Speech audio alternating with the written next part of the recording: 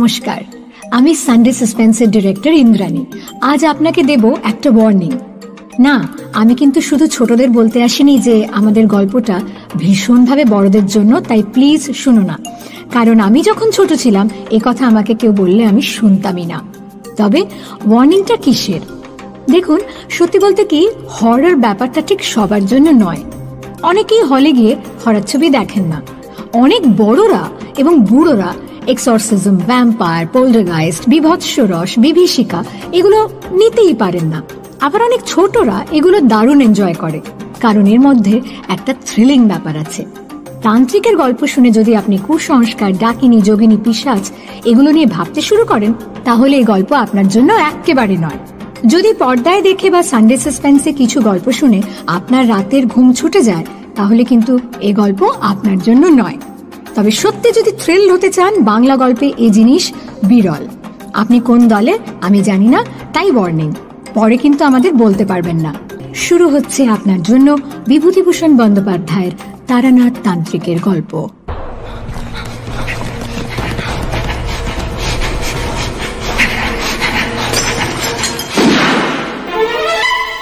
Sunday suspense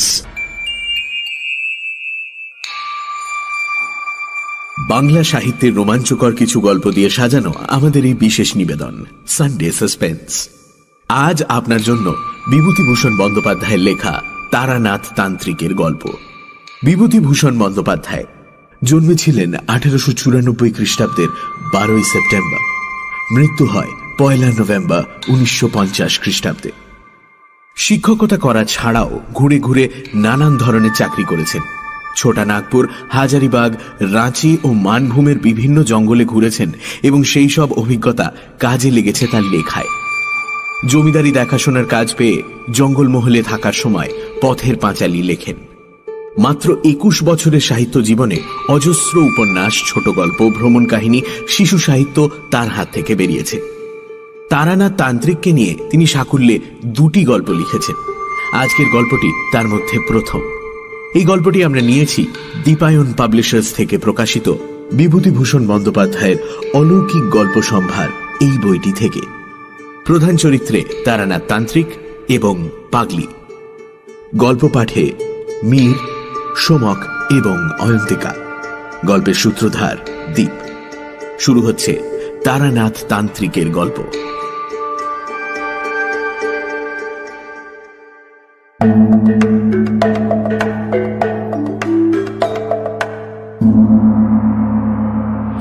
সকাল থেকেই মিহিরের যাকে বলে মুড ভালো নেই, গত দু ঘণ্টা ধরে একটার পর একটা সিগারেট খেয়েই চলেছে। এই মুড ভালো না থাকার কারণ প্রথমত, গত সপ্তাহে তার উপন্যাসের যে পাণ্ডুলিপিটা প্রকাশকের অফিসে দিয়ে এসেছিল, আজ সকালেই প্রকাশক প্রাণতোষ মিত্র ফোন করে বললেন যে তিনি নাকি সেটা হাতেই পাননি।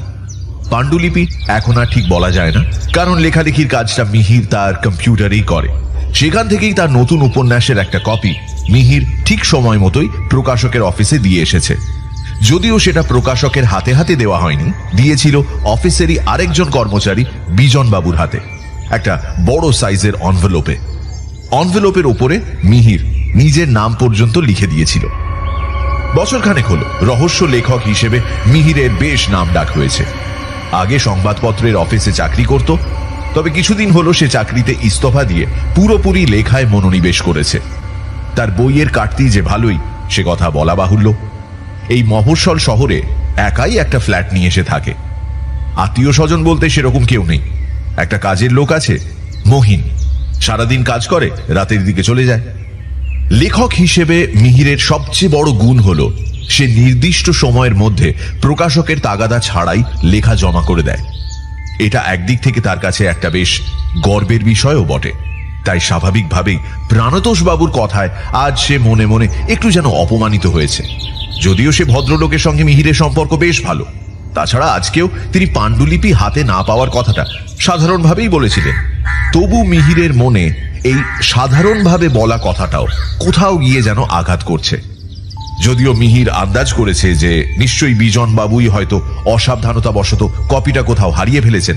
এখন উপায় না পেয়ে তার উপর দোষ চাপিয়ে দিচ্ছেন। সে না হয় আরেক কপি প্রিন্ট আউট করে দেওয়া যাবে। কিন্তু নিজেকে বাঁচাতে তিনিই বা মিথ্যে কথা বলবেন কেন? এই কথা ভেবে বিজন বাবুর প্রতি মিহিরের খুব রাগ হলো।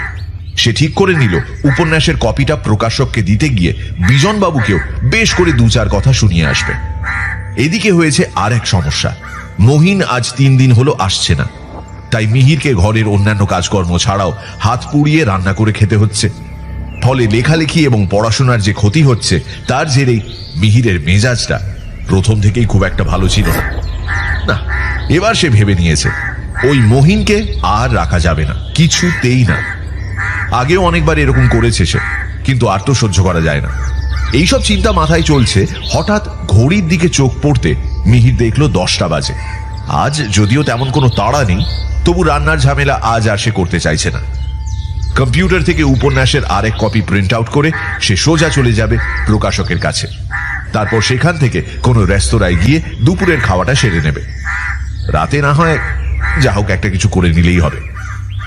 প্রায় দেড়শো পাতার প্রিন্ট আউট সুতরাং হাতে বেশ কিছুটা সময় আছে মিহির প্রিন্ট আউট করতে দিয়ে স্নানে যাওয়ার জন্য উঠতে যাবে ইতিমধ্যে। পাশের টেবিলে চার্জে বসানো মোবাইলটা বেজে উঠল। মিহির দেখল, ইন্দ্র ফোন করেছে। এই ইন্দ্র হলো একটি অ্যান্টিক শপের মালিক এবং মিহিরের ঘনিষ্ঠ বন্ধু। তার দোকানে নতুন কিছু আসলেই অন্তত দেখার জন্য মিহিরকে সে ফোন করে যেতে বলে। মিহিরেরও এইসব ব্যাপারে খুব উৎসাহ। সুতরাং মোবাইলের স্ক্রিনে ইন্দ্রর নামটা ভেসে উঠতেই একটু যেন তাড়াহুড়ো করে মিহির মোবাইলটা চার্জার থেকে খুলে রিসিভ করতে গেল, আর ঠিক তখনই চার্জারে তারের সঙ্গে বেঁধে তার ঘরের একমাত্র ছোট আয়নাটা নিচে পড়ে দুটুকরো। যাক, তাহলে কাজ আরও একটু বাড়লো। প্রথমে প্রকাশকের অফিস, তারপর ইন্দ্রর অ্যান্টিক শপ তারপর দুপুরে লাঞ্চ সেরে সব শেষে একটা আয়না কিনে বাড়ি। বেশ, তাই হোক। প্রকাশকের অফিস থেকে বেরোতে গিয়ে মিহির হাত ঘড়িতে সময় দেখল, পৌনে দুটো বাজে। এসেছিল সাড়ে বারোটায়।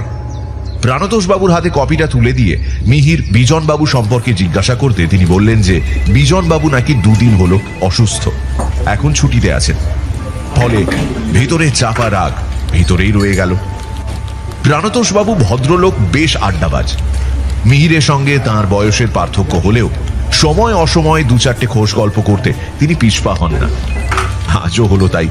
সেই কারণেই বোধ হয় বিজন বাবুর প্রতি মিহিরের রাগটা অনেকখানি পড়ে গেল।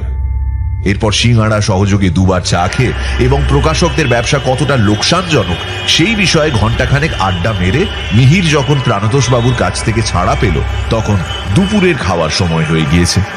কাছাকাছি একটা রেস্তোরাঁ থেকে দুপুরের খাওয়া সেরে নিয়ে মিহির সেখান থেকে ট্যাক্সি করে সোজা ইন্দ্রর দোকানের দিকে রওনা দিল। রাস্তায় ট্রাফিক জ্যাম হওয়ার ফলে চল্লিশ মিনিটের পথ যেতে সময় লাগল প্রায় দু ঘণ্টা। ইন্দ্র দোকানটা ঠিক রাস্তার উপরে নয়, বড় রাস্তা থেকে একটু গলির ভিতরে, তা প্রায় দশ মিনিটের পায়ে হাঁটা পথ। ফলে মিহির যখন ইন্দ্রর দোকানে গিয়ে পৌঁছলো, তখন বিকেল হয়ে গিয়েছে। আজ আর বেশিক্ষণ থাকা যাবে না। আবার বাড়িও তো ভিড়তে হবে। এই ভেবে মিহির ইন্দ্রকে বলল শোন আজ কিন্তু বেশি দেরি করব না। আরে ঠিক আছে একা মানুষ এমন তো নয় যে বাড়িতে তোর জন্য কেউ অপেক্ষা করছে। এত তাড়া কিসের? দেখ ভাই চল্লিশ মিনিটের পথ দু ঘণ্টা ধরে এসেছি। আবার যেতে দু ঘণ্টা এরপর আবার ট্রেন ধরে বাড়ি। তুই কি চাস মাঝরাতে গিয়ে বাড়ি পৌঁছই? ও নিয়ে তুই ভাবিস না তোকে ট্যাক্সি করতে হবে না। স্টেশনের দিকে আমার একটু দরকার আছে আমি তোকে পৌঁছে দেবো। এই কথার পর আর কিছু বলা চলে না। অগত্যা মিহিরকে কিছুটা সময় বসতেই হলো। তবে ইন্দ্রর কাছে বসা মানে সে এক মূল্যবান সময় যাপন। প্রাচীন জিনিস সম্পর্কে ইন্দ্রর অগাধ জ্ঞান। সে নিজে ইতিহাসের ছাত্র, তাই শুধুমাত্র ব্যবসার খাতিরে নয়, নিজের আগ্রহেই ইন্দ্র এসব ব্যাপারে পড়াশোনা করে। মিহিরও এদিক থেকে তারই মতো। প্রাচীন আসবাবপত্র এবং পুঁথিপত্রের ব্যাপারে খুবই আগ্রহী। সে যদিও সাহিত্যের ছাত্র, কিন্তু পড়াশোনার ক্ষেত্রে মিহির যাকে বলে সর্বভুক ফলে এমন দুই বন্ধুতে মিলে ঘর ভর্তি প্রাচীন জিনিসপত্রের মাঝখানে গল্পগুজব আরম্ভ করলে সময়ের দিকে নজর না থাকাটাই যে স্বাভাবিক সে কথা বলার অপেক্ষা রাখে না। বেশ কিছুক্ষণ গল্পগুজব করার পর ইন্দ্র বলল চল এবার তোকে নতুন কালেকশনগুলো দেখিয়ে আনি। ইন্দ্রর অ্যান্টিকের দোকানটা বেশ বড়। দুজন কর্মচারীও আছে। দোকান থেকে কিছুটা দূরেই ইন্দ্রর আরেকটা দোকান রয়েছে। তবে এটাকে দোকান না বলে গোডাউন বলাই ভালো।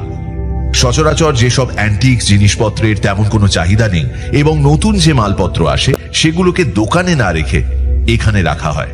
দোকানের দেখাশোনার ভার কর্মচারীদের উপর দিয়ে ইন্দ্র মিহিরকে তার এই অ্যান্টিক শপের গোডাউনে নিয়ে এলো। লোহার মজবুত দরজা ঠেলে ভিতরে ঢুকতেই নাকে এলো পুরনো জিনিসপত্রের খুব চেনা একটা গন্ধ। মিহির বহুবার এখানে এসেছে।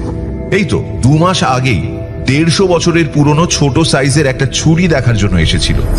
ছুরিটা নাকি রাজস্থানের কোনো এক পরিত্যক্ত কেল্লায় পাওয়া যায়। শুধু ছুরি কেন? প্রাচীন আসবাবপত্র, টাকা পয়সা, সাজগোজের জিনিসপত্র, পুঁথি ইত্যাদি আরও বহু কিছু দেখার জন্য মিহির আগেও অনেকবার এই ঘরে এসেছে। এই ঘরের কোথায় কোন জিনিস রাখা আছে, তা এখন মিহিরের প্রায় মুখস্থ। নতুন জিনিসপত্রের মধ্যে ছিল দুটো রাজস্থানী গয়নার বাক্স। একটা ব্রঞ্জের লক্ষ্মী মূর্তি, একটা নবাবী আমলের গড়গড়া, একটা কাম্পাস, আর একটা ট্যাঙ্ক ঘড়ি। এক ওই রাজস্থানী গয়নার বাক্স ছাড়া বাদবাকি জিনিসগুলোর বয়স দুশো বছরের কম নয়। জিনিসগুলো দেখা শেষ হলে মিহিরের চোখ পড়ল ঘরের দেয়ালে টাঙিয়ে রাখা মাঝারি মাপের একটা আয়নার দিকে। অদ্ভুত ধরনের নকশা করা কাঠের ফ্রেমে বাঁধানো। সেই নকশাটার দিকেই প্রথমে আকৃষ্ট হয়ে মিহির আয়নাটার দিকে এগিয়ে গেল। কাছে যেতে আয়নার ফ্রেমের নকশাটা আরও স্পষ্টভাবে ফুটে উঠল। সচরাচর ফার্নিচারের দোকানে যে ধরনের ফ্রেমের নকশা দেখা যায়, এটা ঠিক সেরকম নয়। তাছাড়া আয়নার কাজটাও যেন অন্য রকম অন্তত মিহির যেখানে দাঁড়িয়ে, সেখান থেকে তার মনে হলো যেন আয়নাটায় কাচের বদলে রয়েছে একটা জলের স্তর। মাঝে মাঝে সেখানে যেন ঢেউ খেলছে। মিহির আরও কাছ থেকে দেখার জন্য নিঃশব্দে আয়নাটার দিকে এগিয়ে গেল। ইন্দ্র তাকে এতক্ষণ লক্ষ্য করেনি। সে নতুন আসা জিনিসপত্রগুলো গুছিয়ে রাখছিল। মিহিরের দিকে চোখ পড়তেই সে বলল এই দেখ আয়নাটা তোকে দেখাতেই ভুলে গেছি। ইন্দ্রর কথায় মিহির একটু চমকে উঠল। আসলে এক মনে আয়নাটার দিকে তাকিয়ে থাকতে থাকতে সে যেন কি একটা অনুভব করছিল। মিহিরের কথায় সেই ঘোর হঠাৎ কেটে গেল। গত রোববার এক অ্যাংলো ইন্ডিয়ান ভদ্রলোক আমায় ফোন করেন। তার নাম অ্যাডাম ক্রিমসন। আসলে সপ্তাহ দুয়েক আগে আমি আমার দোকানের একটা বিজ্ঞাপন পেপারে দিয়েছিলাম। সেখানে আমার ফোন নাম্বারটাও দেওয়া ছিল। ভদ্রলোক সেই বিজ্ঞাপন দেখেই আমায় ফোন করেন এবং এই আয়নার কথা বলেন। সব কথা শুনে আমি তাকে সোম থেকে শনি, এর মধ্যে যে কোনো একটা দিন আসতে বলি। কিন্তু ভদ্রলোক রাজি হলেন না। বললেন, শুধু এই আয়নাটা দিলেই হবে না। এর সঙ্গে নাকি এক অদ্ভুত ইতিহাস জড়িয়ে আছে এবং সেই ইতিহাস তিনি আমাকে বলতে চান। সে কথা আবার দোকানে বলা যাবে না। তাছাড়া বার্ধক্যজনিত কারণে তিনি বেশি হাঁটাচলা করতে পারেন না। অতএব আমি যদি সত্যি আয়নাটা নিতে চাই, তাহলে যেন তার বাড়ি গিয়ে নিয়ে আসি। আমি আর কথা না বাড়িয়ে রাজি হয়ে গেলাম। ফোনে তার কাছে তার বাড়ির ঠিকানা নিয়ে সেদিন বিকেলেই বেরিয়ে পড়ি। গাড়ি করে আমার এখান থেকে দু ঘণ্টার রাস্তা। গিয়ে যখন পৌঁছলাম তখন পাঁচটা বাজে। কলিং বেল শুনে মাঝ বয়সী একটা ছেলে দরজা খুলল। আমার পরিচয় পেয়ে বলল আমার সঙ্গে আসুন স্যার আপনার জন্যই অপেক্ষা করছেন। এই বলে সে আমায় বাড়ির ভেতরে নিয়ে গেল। ভদ্রলোকের বাড়িটা বাইরে থেকে দেখতে হাল আমলের ছিমছাম আধুনিক বাড়ির মতো। কিন্তু বাড়ির ভেতরে ঢুকে মনে হলো যেন ভিক্টোরিয়ান যুগের কোনো বনেদি ইংরেজি বাড়িতে এসে পড়েছি। চারপাশের আসবাবপত্র দেওয়ালের পেইন্টিং, ঘরের এক কোণে রাখা পিয়ানো, সবকিছুর মধ্যে একটা স্পষ্ট আভিজাত্যের ছাপ। ভদ্রলোক যদিও তার আয়নার কথা বলেছিলেন, কিন্তু তার ঘরের চারপাশে যেসব জিনিসপত্র ছড়িয়ে ছিটিয়ে রয়েছে, তা সবই অ্যান্টিক। সত্যি কথা বলতে, এবার আমার নিজেরই একটু সংকোচ হচ্ছিল। জানি না ভদ্রলোক আয়নাটা কত টাকায় দিতে রাজি হবেন। এদিকে আমি তো সঙ্গে করে হাজার দশকের বেশি আনিনি যাই হোক সেই ছেলেটাকে অনুসরণ করে বাড়ির ভেতরে টানা প্যাসেজ দিয়ে ঢুকে ডান দিকে একটা ঘরের বন্ধ দরজার সামনে এলাম। স্যার ভিতরে আছে। কাইন্ডলি একবার নক করে নেবেন হ্যাঁ? আসতে পারি? দরজা ঠেলে আমি ভেতরে ঢুকলাম। এটাই হয়তো ভদ্রলোকের স্টাডি ঘরের দেওয়াল জুড়ে বুকশেলফ একপাশে একটা ভিক্টোরিয়ান পেডেস্টাল ডেস্ক এবং ঠিক তার বিপরীতে বসে রয়েছেন এই বাড়ির মালিক। পাশে একটা ফ্লোর ল্যাম্প জ্বলছে। সেই ল্যাম্পের মৃদু আলোয় দেখলাম ভদ্রলোক একটা কফিন কাউচের উপর বসে আছেন। বাড়ির সাজসজ্জার সঙ্গে ভদ্রলোকের চেহারা একেবারে মানানসই। বয়স আন্দাজ ষাটের কাছাকাছি। তবে আমি বিশেষভাবে আকৃষ্ট হয়েছিলাম ওই কাউচটা দেখে। সচরাচর এই ধরনের কাউচ কেউ ব্যবহার করে না। আমি নিজেও এর আগে এই কাউচ দেখিনি। তবে ব্যবসার খাতিরে অনেক সময় বিভিন্ন অকশন হাউসের খোঁজ খবর নিতে গিয়ে ইন্টারনেটে দু একবার এই জিনিস চোখে পড়েছিল। বলাই বাহুল্য এই জিনিস যেমন দামি, তেমনই শৌখিন। ভদ্রলোক আমাকে স্বাগত জানিয়ে পাশের একটা চেয়ারে বসতে বললেন। আমি চেয়ারে বসতেই আমায় জিজ্ঞাসা করলেন? গাড়ি চিনে আসতে কোনো অসুবিধে হয়নি তো? না না অসুবিধে আর কি। তবে এদিকটায় আমার খুব একটা আশা হয়নি। এদিকে আগে এতটা জনবসতি ছিল না। বছর দশেক হলো চারপাশে এইসব ফ্ল্যাট বাড়ি তৈরি হয়েছে। আমি এখানে আছি আজ তিরিশ বছরের ওপর। আচ্ছা আগে বলুন কি খাবেন? চা না কফি? চাই ঠিক আছে। তার আগে কি ওই আয়নাটা একবার দেখা যায়? ভদ্রলোক কোনো উত্তর না দিয়ে পাশে রাখা সিগার কেস থেকে একটা সিগার নিয়ে আমায় অফার করলেন। আসুন। আমি ও রসে বঞ্চিত। ভদ্রলোক জ্বলন্ত সিগারে বেশ কয়েকটা টান দিয়ে আমার দিকে তাকিয়ে বললেন আগে আপনাকে আমার কয়েকটা প্রশ্নের উত্তর দিতে হবে। উত্তরগুলো যদি সঠিক হয় তাহলে আমি আপনাকে আয়নাটা বিনা মূল্যে দিয়ে দেব। যদিও তার আগে এই আয়নার ইতিহাস আপনাকে আমি বলব। সব শুনে যদি আপনি রাজি হন, তাহলে এই আয়নাটা আপনার। তারপর আপনি সেটা বিক্রি করবেন না নিজের কাছে রাখবেন, তা সম্পূর্ণ আপনার ব্যাপার। এবার বলুন, রাজি? আমি ভদ্রলোকের কথা শুনে প্রথমে একটু আশ্চর্য হলাম। ইনি আবার ছিটগ্রস্ত নয় তো? আয়না বিক্রি করবে বলে বাড়িতে ডেকে এনে এখন মৌখিক পরীক্ষা নিতে বসবে। শুধু তাই নয়, পাশ করলে রয়েছে আকর্ষণীয় পুরস্কার। মনে মনে একটু হাসিই পেল। কিন্তু ভদ্রলোকের চোখে মুখে কোনো ধরনের অস্বাভাবিক আচরণের ছাপ আমি দেখতে পেলাম না। তাছাড়া ঘরের জিনিসপত্র দেখলেই মালিকের খুব উঁচু দরের রুচির পরিচয় পাওয়া যায়। কি আর করব? একটু ভেবে নিয়ে বললাম, রাজি। ভদ্রলোক তার প্রশ্নোত্তর পর্ব আরম্ভ করলেন। আপনি অকাল্ট সোসাইটির নাম শুনেছেন? নাম শুনেছি এই পর্যন্তই। বিশেষ কিছু জানি না। কতটুকু জানেন? জানি বলতে আনুমানিক এক হাজার খ্রিস্টাব্দের কাছাকাছি সময় এই ধরনের সোসাইটি তৈরি হয়। মূলত যারা লোকচক্ষুর আড়ালে থেকে ম্যাজিক বা জাদুবিদ্যা অথবা অনেক সময় প্রেত চর্চা করতেন তাদের নিয়ে এই ধরনের সোসাইটি গঠন করা হয়। বেশ। আচ্ছা আপনি বলিং ব্রুক নামটা কোথাও শুনেছেন? হ্যাঁ শুনেছি। শেক্সপিয়ারের হেনরি সিক্স নাটকে এই নামে একজন জাদুকরের কথা আছে। Shakespeare?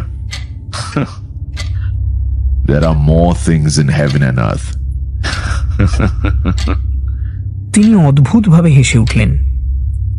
তার হাতের জ্বলন্ত সিগারের ধোঁয়া ঘরের মৃদু আলো আর চারপাশের পরিবেশের সঙ্গে সেই হাসি মিলেমিশে কেন জানি না, বারবার একটা সাংঘাতিক কোনো কিছুর ইঙ্গিত দিতে লাগল। সবচেয়ে আশ্চর্য বিষয়, আমার একবারের জন্য আর এই ভদ্রলোককে অস্বাভাবিক বলে মনে হলো না। জানি না কেন কোন একটা শক্তিতে লোকটা আমায় এই সমস্ত ঘটনা নির্দ্বিধায় মেনে নিতে বাধ্য করছিলেন। পরে যদিও এসব ভেবে নিজের ওপরই হাসি পেয়েছিল, সত্যি বলতে ভুলেও গিয়েছিলাম। কিন্তু যতক্ষণ ভদ্রলোকের সামনে বসেছিলাম, ততক্ষণ আমি যেন একটা দুর্নিবার ঘোরের মধ্যে ছিলাম।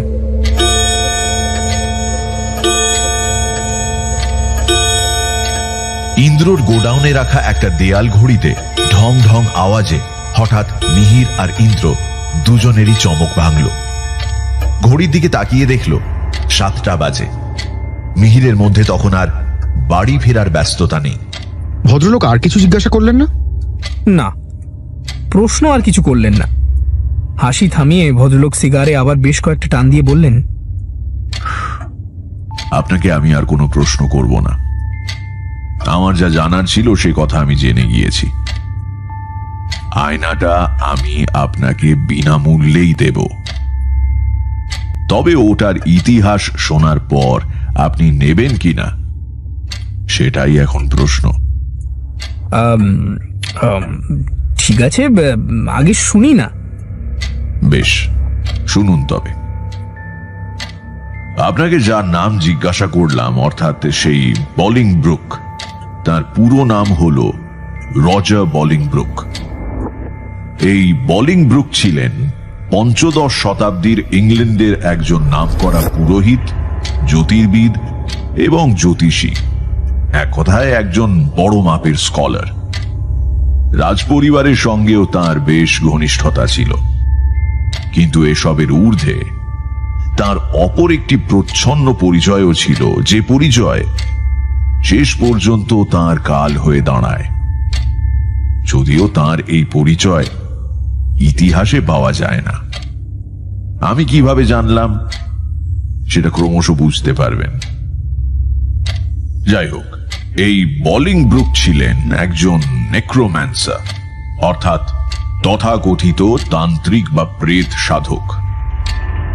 এর একমাত্র শিষ্য ছিলেন আমন। এই আমন গুরু বলিং ব্রুকের সমস্ত বিদ্যায় আয়ত্ত করেছিলেন। বলিং ব্রুকের জীবন কাহিনীতে তার এই শিষ্যের ভূমিকা খুবই গুরুত্বপূর্ণ। চোদ্দশো সালের একটি ঘটনা বলিংব্রুকের জীবনে মর্মান্তিক পরিণতি ডেকে আনে। তাঁরই এক পুরোহিত বন্ধু টমাস সাউথওয়েল, গোপনে তৎকালীন ইংল্যান্ডের রাজা হেনরি দ্য সিক্সথের একটি কোষ্ঠী তৈরি করেন। এই কোষ্ঠীতে রাজা হেনরি দ্য সিক্সথের মৃত্যুর কথা উল্লেখ করা ছিল। ঘটনাচক্রে এই গোষ্ঠীর কথা রাজার কানে গিয়ে পৌঁছয়। রাজা হেনরি দ্য সিক্স বলিংব্রুক এবং সাউথওয়েল সহ আরও কিছু পুরোহিতকে তার বিরুদ্ধে মৃত্যুর ষড়যন্ত্র করার অপরাধে মৃত্যুদণ্ড দেন। এর মধ্যে বলিংব্রুকের মৃত্যুটা ছিল খুবই মর্মান্তিক। মৃত্যুর আগে যদিও বলিংব্রুক তার তান্ত্রিক ক্রিয়াকলাপের কথা স্বীকার করেছিলেন, তবে সে খুবই সামান্য কয়েকটি স্বীকারোক্তি। সেই সময় এই ধরনের ক্রিয়াকলাপের অর্থই ছিল চার্চের বিরুদ্ধাচরণ করা। ফলে বলিংব্রুকের শাস্তি দ্বিগুণ হয়ে গেল। সেদিন ছিল আঠেরোই নভেম্বর। সকালবেলা তাকে ঘোড়ার সঙ্গে দড়ি দিয়ে বেঁধে টেনে হিঁচড়ে শহরের জনবহুল এলাকায় নিয়ে যাওয়া হলো। এরপর তার হাত পা বেঁধে জীবিত অবস্থাতেই তার পেট চিরে ফেলা হলো। সেই সময় এই ধরনের অপরাধীদের এইভাবেই শাস্তি দেওয়া হতো। এই যন্ত্রণা বেশিক্ষণ সহ্য করতে হলো না বলিংব্রুককে কিছুক্ষণের মধ্যেই তিনি মারা গেলেন। এরপর তার মাথা কেটে লোককে দেখানোর জন্য লন্ডন ব্রিজের ওপর নিয়ে যাওয়া হলো। তার মুন্ডহীন দেহটিকে লম্বা লম্বি ভাবে চিরে দুফালি করে শহরের দুদিকে নিয়ে গিয়ে রাখা হলো। আর তার হৃৎপিণ্ড নিয়ে যাওয়া হলো শহরের আর দিকে। এইভাবে শহরের চারদিকে বলিংব্রুকের শরীরের চারটি অংশ নিয়ে যাওয়া হলো মানুষকে দেখানোর জন্য। বলিংব্রুকের শিষ্য আমান এই সময় শহরে ছিলেন না। এই ঘটনার দুদিন পরে তিনি শহরে এসে সবকিছু শুনে হতবাক হয়ে গেলেন। তবে তার মধ্যে তখন কিন্তু রাগ বা প্রতিশোধ স্পৃহা ছিল না। বরং তিনি আর সময় নষ্ট না করে তার গুরু বলিং ব্রুকের দেহাবশেষ সংগ্রহ করতে ছুটলেন। অনেক কষ্টে আমান শহরের তিন প্রান্ত থেকে বলিং ব্রুকের দ্বিখণ্ডিত শরীর এবং হৃৎপিণ্ড সংগ্রহ করলেন। কিন্তু তার মাথাটা পাওয়া গেল না। সেটা নাকি চুরি গিয়েছিল। যাই হোক বাক্সবন্দি করে সেই দেহাবশেষ তিনি নিয়ে গেলেন শহরের বাইরের এক জঙ্গলে। আমান, এই জঙ্গলেই একটা ছোট্ট কাঠের ঘরে থাকতেন। এই ঘরটাই ছিল তার জাদুবিদ্যার সাধন পীঠ এবার তার জাদুবিদ্যার পরীক্ষার পালা। তিনি মৃত বলিংব্রুককে একটু একটু করে জীবিত করে তুলবেন। সবশেষে প্রয়োজন হবে একটি মাথা। সেটার ব্যবস্থাও করা যাবে। আগে এই অংশগুলোকে জীবিত করতে হবে। গভীর রাত। ইংল্যান্ড শহরের শেষ সরাইখানার আলোটাও তখন নিভে গিয়েছে। শহরের মধ্যে গভীর ঘুমের নিস্তব্ধতা। ছোট ছোট ছেলে মেয়েদের বাড়ির বড়রা ততক্ষণে ফেরি কুইনের গল্প বলে ঘুম পাড়িয়ে দিয়েছে। শহরের শেষ মাথায় বেশিরভাগ খামার চাষিদের বাড়িঘর। সেখান থেকে জঙ্গলের দূরত্ব বেশি নয়। তবে এই জঙ্গলে দিনের বেলাতেও কেউ ঢুকতে সাহস পায় না।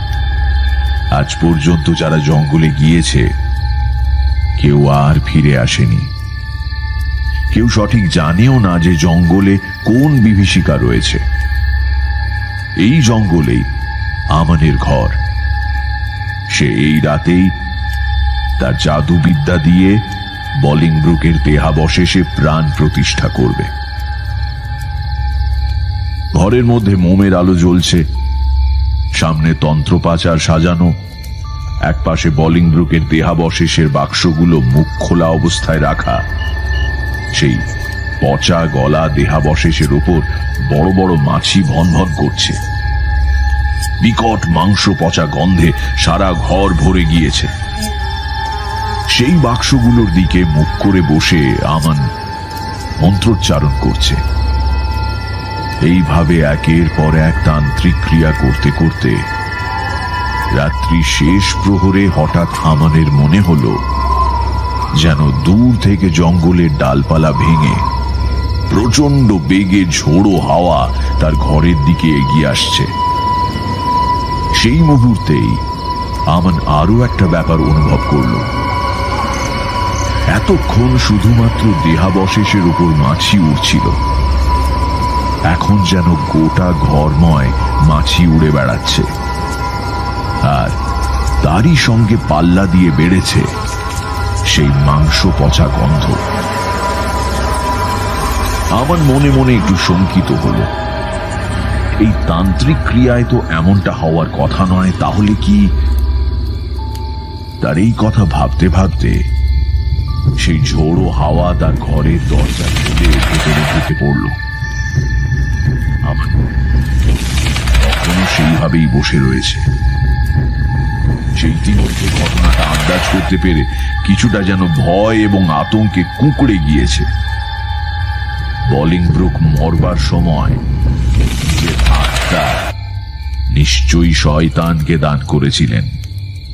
ফলে তার আত্মা এখন শয়তানের দাস হয়ে নিশাচ জমিতে ঘুরে বেড়াচ্ছে। তার এখন একটা শরীর চাই, যার মধ্যে তিনি আবার জেগে উঠবেন।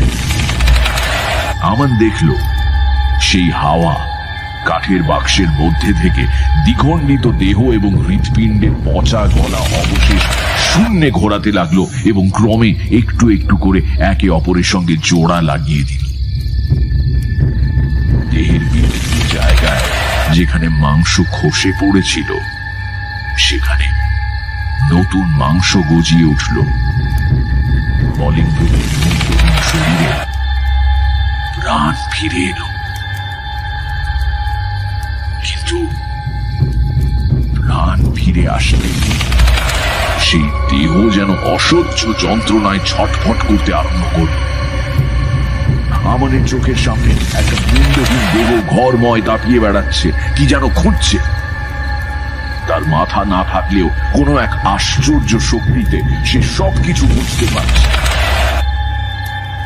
কিন্তু এবার যে ঘটনাটা ঘটল, তা আমানকে ভেতর থেকে নাড়িয়ে দিল। আমান এই তান্ত্রিক ক্রিয়ায় বসার আগেই নিজেকে মন্ত্র শক্তিতে সুরক্ষিত করে নিয়েছিল। ফলে তার কোনো ধরনের ক্ষতির আশঙ্কা ছিল না। কিন্তু যে দৃশ্য সে চোখের সামনে দেখল, তা যেন তার সাহসের শেষ নির্যাসটুকু নিংড়ে দিয়ে তাকে ছিবড়ে করে সেই জায়গায় বসিয়ে রাখল। আমার দেখল, এতক্ষণ যে মাছিগুলো ঘরময় উড়ে বেড়াচ্ছিল সেগুলোই ঘরের এক কোনায় গিয়ে একে একে জমা হলো। তারপর সেই মাছিগুলো মানুষের আকৃতি ধারণ করল। ঠিক মানুষ নয়, শরীরটা মানুষের, আর মুখটা অনেকটা ছাগলের মতো। শিং দুটো উঁচু হয়ে উঠে মাথার পেছন দিকে বেঁকে গিয়েছে।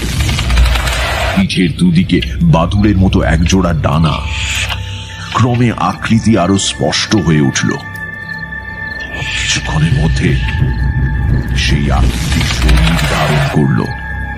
মাছিগুলো তখন আর নেই। আমান এক দৃষ্টিতে তার দিকে তাকিয়ে রয়েছে। বাফমেট বাফমেট বলতে বলতে আমাদের সারা শরীর কেঁপে উঠল। বাফমেট শয়তানের অপর নাম। সে নিজে এসেছে। আমান কিন্তু শুধুমাত্র বলিং ব্রুকের আত্মাকেই আহ্বান করেছিল।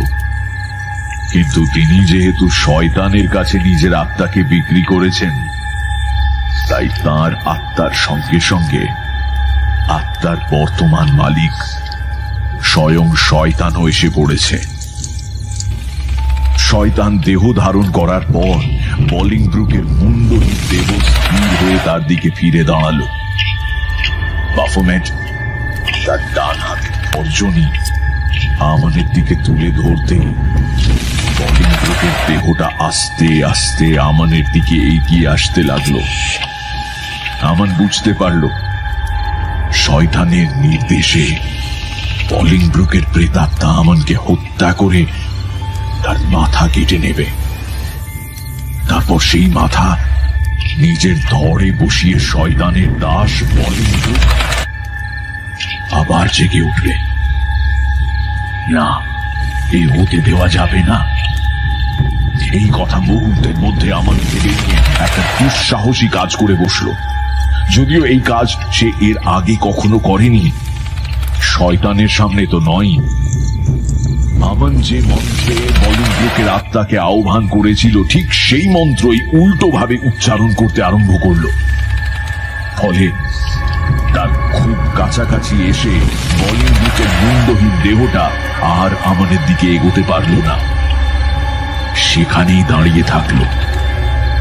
বাফোমেট দাঁড়িয়ে এক দৃষ্টিতে আমাদের দিকে তাকিয়ে রয়েছে।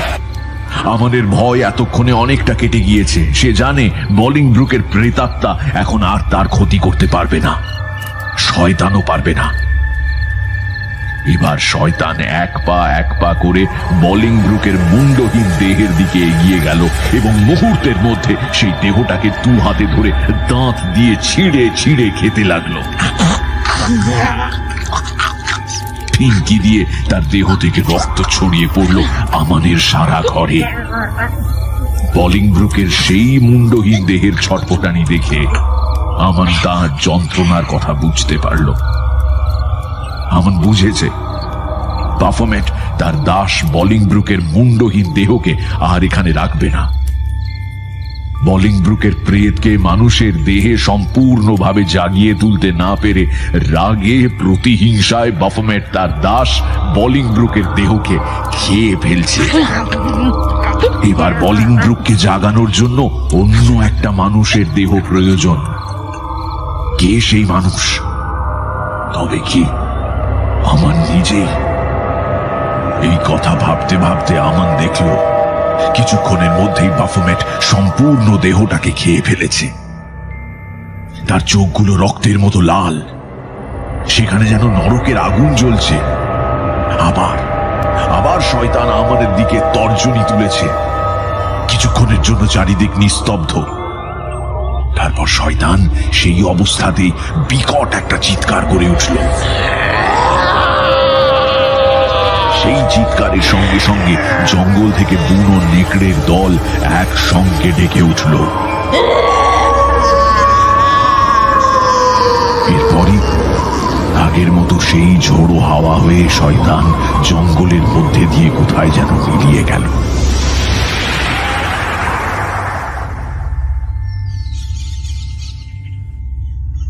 ঘটনাটা ঘটেছিল শেষ রাতে।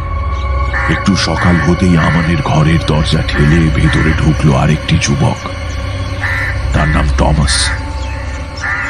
এই টমাস ছিল আমানের শিষ্য এবং তার তন্ত্র সাধনার অন্যতম সহযোগী। সে ঘরে ঢুকে দেখে আমান অজ্ঞান হয়ে মেঝের উপর পড়ে আছে। আমানেরই শেখানো জাদুবিদ্যা প্রয়োগ করে অনেক চেষ্টার পর টমাস আমানকে স্বাভাবিক অবস্থায় ফিরিয়ে আনে। গত রাতের সমস্ত ঘটনা আমান তাকে সবিস্তারে বলে। আমানের আদেশেই গত রাতে টমাস এখানে ছিল না। এই ক্রিয়াটি আমার নিজেই করতে চেয়েছিল। সবচেয়ে বড় কথা, এই ক্রিয়ায় সহযোগিতা করার জন্য টমাস তখনও তৈরি ছিল না। যাই হোক, টমাসের সেবা শুশ্রূষায় আমন অল্প দিনের মধ্যেই আবার আগের মতো হয়ে উঠল এবং তার এই প্রিয় শিষ্যকে সে তার সমস্ত জাদুবিদ্যা উজাড় করে শেখাতে লাগল। এইভাবে আরও এক বছর কাটল। টমাস তখন জাদুবিদ্যায় আমানের মতোই দক্ষ হয়ে উঠেছে। একদিন টমাসকে কাছে ডেকে আমান বলল দেখো, আমি তোমায় এই যে এক বছর ধরে আমার সমস্ত জাদুবিদ্যা শিখিয়েছি, তার পেছনে আমার একটা উদ্দেশ্য আছে। গত বছর সেই ঘটনার পর আমি বেশ বুঝতে পেরেছিলাম যে শয়তান যে কোনো ভাবেই হোক না কেন, আমার আত্মাকে নরকে নিয়ে যাবে। তাই সেদিন যে কাজটা অসম্পূর্ণ থেকে গিয়েছিল সেই কাজই তোমাকে সম্পূর্ণ করতে হবে। আপনি কোন কাজের কথা বলছেন? আমার গুরু বলিং ব্রুকের আত্মাকে মুক্ত করতে হবে। তা যদি নাও হয় অন্তত তাকে এখানেই এই পৃথিবীতেই ধরে রাখতে হবে। তারপর উপযুক্ত সময় বুঝে তাকে শয়তানের কবল থেকে মুক্ত করতে হবে। কিন্তু কিন্তু গতবার যে গতবার আমি নিজেই বুঝতে পারিনি যে এইরকম একটা পরিস্থিতির মুখোমুখি হতে হবে। কিন্তু এবার আমি প্রস্তুত। বেশ তাই হবে। আবার সেই রাত ফিরে এলো। গতবারের মতো। আবার সেই একই উদ্দেশ্যে আমান তান্ত্রিক ক্রিয়ার জন্য প্রস্তুত। এইবার তার সঙ্গী হিসেবে রয়েছে টমাস। তাকে সবকিছু আগে থেকেই বুঝিয়ে দিয়েছে আমান। সারা রাত ধরে চলল তন্ত্রক্রিয়ার বিভিন্ন অনুষ্ঠান। শেষ রাতে আমান আবার বলিংব্রুকের আত্মাকে আহ্বান করল। আবার সেই ঝড়। সেই দূর থেকে গাছপালা ভেঙে চুড়ে নিয়ে আসার শব্দ। কিন্তু এবার একটা ঘটনা ঘটল। সেই ঝোড়ো হাওয়া এবার আর আমাদের ঘরের মধ্যে ঢুকতে পারল না, কারণ বাইরে আমাদের যোগ্য শিষ্য টমাস নিজের তন্ত্র শক্তিতে শয়তানকে বাধা দিচ্ছে। পর থেকে আমার প্রাণপণে শুধুমাত্র বলিং ব্রুকের আত্মাকে আহ্বান করে যাচ্ছে। কিছুক্ষণের মধ্যেই শয়তানের সেই প্রাণঘাতী চিৎকার শোনা গেল। আমন বুঝতে পেরেছিল যে টমাস হয়তো বেশিক্ষণ আর শয়তানকে বাধা দিতে পারবে না। এবার আমান তার শেষ রাস্তাটা বেছে নিল। এই তন্ত্র ক্রিয়ায় আত্মার শক্তি দেহের বাইরে শত গুণ বেড়ে যায়। তাই আমান মন্ত্রোচ্চারণ করতে করতে হাতের কাছে রাখা ছুরি তুলে নিল এবং সজরে নিজের হৃৎপিণ্ড বরাবর বসিয়ে দিল।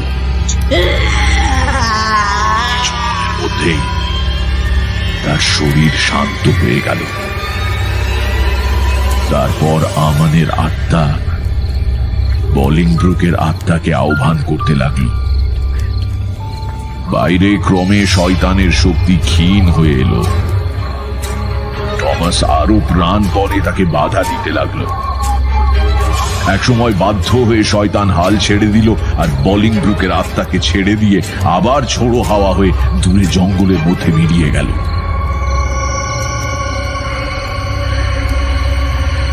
টমাস দ্রুত এসে আমাদের ঘরে ঢুকলো। এরকম যে হতে পারে তা আমান আগে থেকেই টমাসকে বলেছিল। তাই ঘরের মধ্যে আমানের ছুরিকাহত রক্তাক্ত মৃতদেহ দেখে টমাস বিন্দুমাত্র বিচলিত হলো না। তাছাড়া সে যখন খুশি আমানের আত্মার সঙ্গে যোগাযোগ করতে পারবে, তাই আমানের দেহত্যাগ করা নিয়ে টমাস দুঃখিত নয়। এই ক্রিয়া করার আগে আমান তাকে বলেছিল, বলিং ব্রুকের আত্মার শক্তিকে সে তিনটে কবচের মধ্যে ভাগ করে রাখবে। কিন্তু প্রতি একশো বছর অন্তর তার আত্মার শক্তি জেগে উঠবে। কারণ শয়তান বলিং ব্রুকের আত্মা বাধ্য হয়ে ছেড়ে গিয়েছে, কিন্তু বলিং ব্রুক এখনও শয়তানের দাস। তাই একশো বছর অন্তর তার শক্তি জেগে উঠে শয়তানের কাছে যেতে চাইবে। তখন তাকে বাধা দিতে হবে। আর এর জন্য চাই বলি, মানুষের বলি। আমান আরও বলেছিল, এই তিনটে কবচ তার উত্তরাধিকারীর কথা শুনবে। বলিংব্রুকের সমস্ত জাদুবিদ্যা তার সহায়ক হবে। আমান আরও বলেছিল, সবকিছু শেষ হলে টমাস যেন এই আমানের দেহ সমেত তার ঘরটাকে আগুনে পুড়িয়ে দিয়ে আর এই কবচ তিনটে নিয়ে অন্য কোনো সুরক্ষিত জায়গায় চলে যায়। আমানের শেষ নির্দেশ মতো সেই কবচ তিনটে নিয়ে টমাস আমানের মৃতদেহ সমেত তার ঘরে আগুন ধরিয়ে দেয় এবং ভোরের প্রথম আলো ফুটে ওঠার সঙ্গে সঙ্গেই ইংল্যান্ড ত্যাগ করে অন্য শহরে চলে যায়।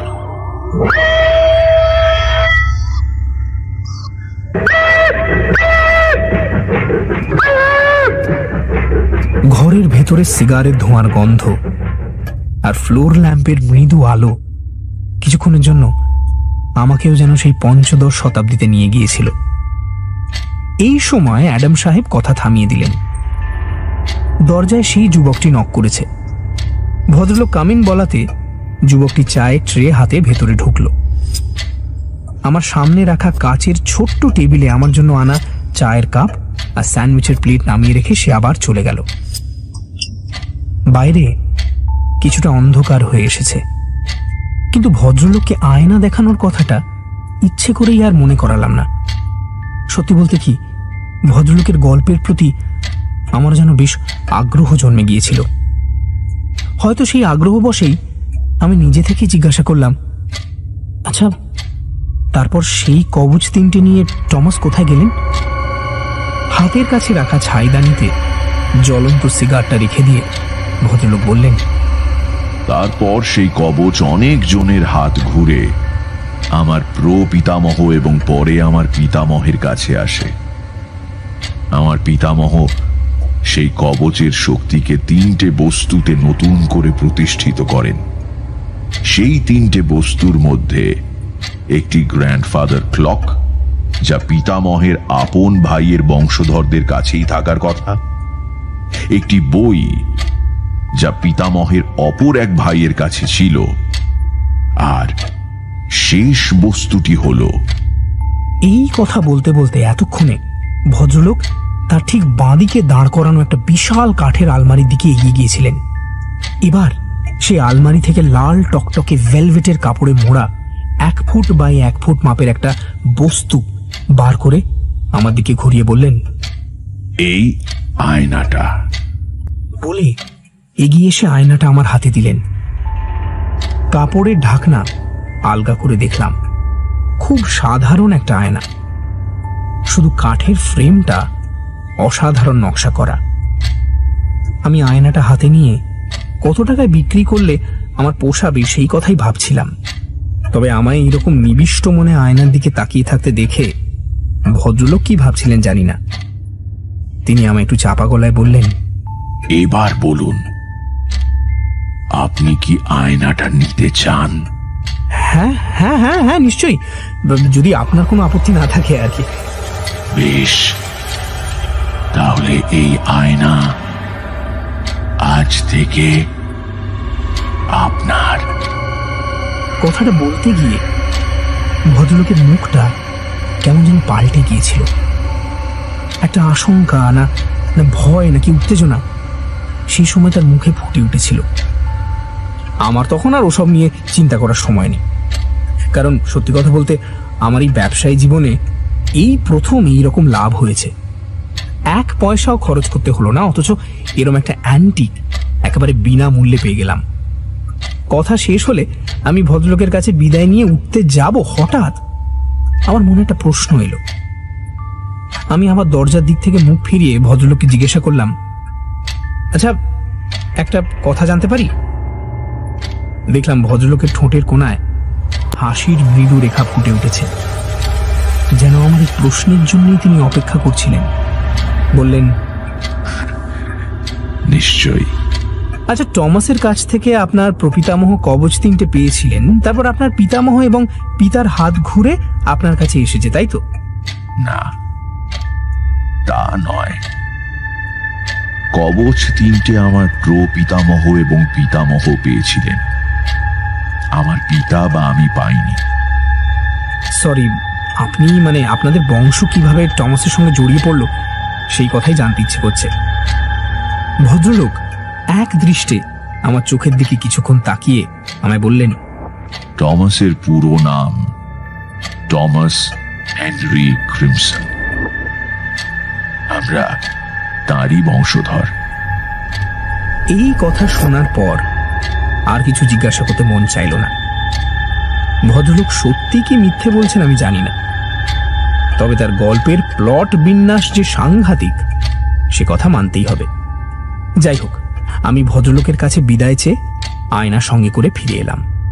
কথা শেষ করে ইন্দ্র সবে কি যেন বলতে যাবে এমন সময় তার অ্যান্টিক শপের এক কর্মচারী এসে বলল স্যার দোকান কি বন্ধ করে দেবো?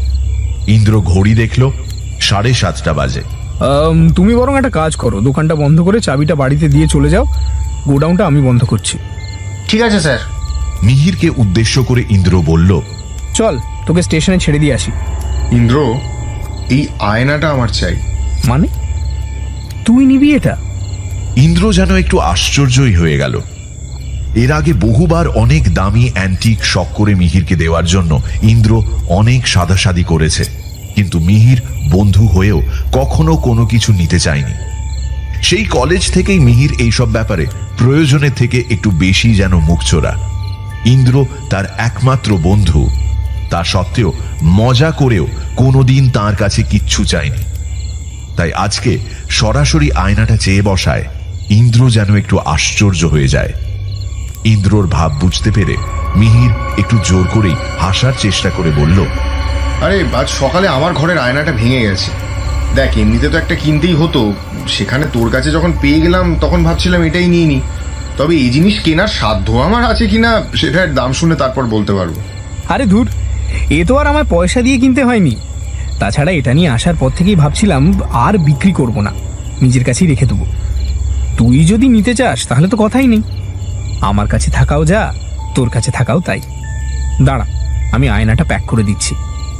মিহির আর বাধা দিল না। প্যাক করার জিনিসপত্র সব দোকানে গোডাউনের মধ্যে তাই কিছু না পেয়ে ইন্দ্র সেই লাল ভেলভেটের কাপড়ে আয়নাটা মুড়ে মিহিরের হাতে দিয়ে বলল এই কাপড়ে মুড়িয়ে দিলাম। কি চলবে তো? চলবে মানে দৌড়বে। ভাই এবার যেতে হবে। হ্যাঁ হ্যাঁ তুই গিয়ে গ্যারেজের সামনে দাঁড়া আমি গোডাউনটা বন্ধ করেই আসছি। ইন্দ্রর অ্যান্টিক শপ থেকে বেরিয়ে গাড়ি করে শর্টকাটে স্টেশন পৌঁছতে লাগল ঠিক পঁয়ত্রিশ মিনিট। ফলে ইন্দ্রর কাছ থেকে আয়না সহ বিদায় নিয়ে আটটা বাইশে ট্রেনটা ধরতে মিহিরকে বিশেষ পরিশ্রম করতে হলো না।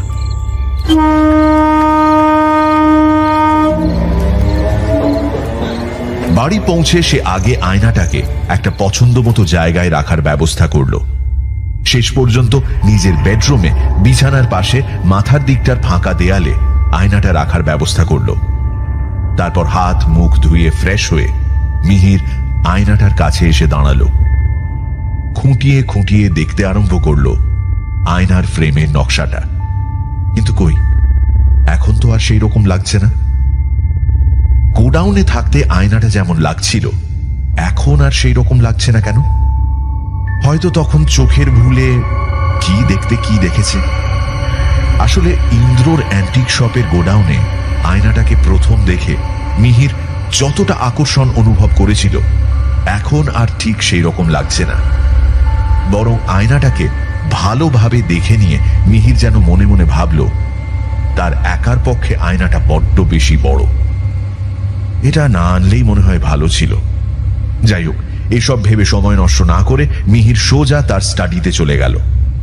ফেরার পথে হোটেল থেকে রাতের ডিনার সেরে এসেছিল, কাজেই সেসব ঝামেলা আর নেই। এর মধ্যেই মহিন তাকে ফোন করেছিল, তার ছেলের কদিন ধরে ধুম জ্বর।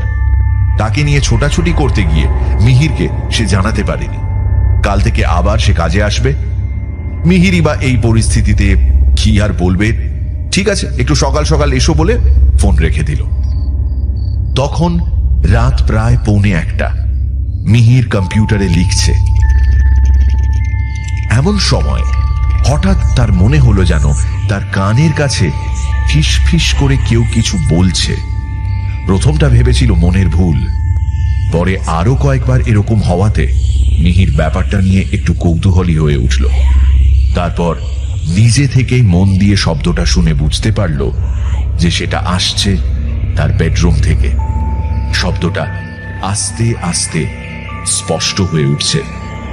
ফিস ফিস করে হচ্ছে কিন্তু স্পষ্ট। যে ভাষায় শব্দটা হচ্ছিল তা বাংলা হিন্দি বা ইংরেজি নয় গ্রিক ভাষা।